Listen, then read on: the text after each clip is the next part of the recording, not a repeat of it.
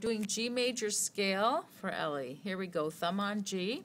The fingering is one, two, Okay. three. Under. One, two, three. Here's the F sharp. And there's your G. And now you come right back down.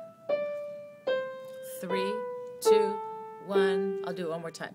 One, two, three. Under. One, two, three, four, five, four, three, two, one, three, two, you can stop.